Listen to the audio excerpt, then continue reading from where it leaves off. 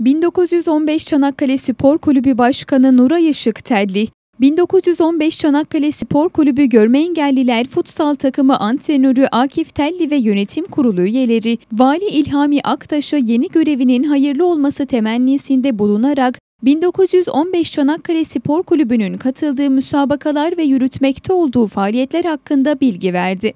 Vali İlhami Aktaş ziyaretten duyduğu memnuniyeti dile getirerek teşekkür etti.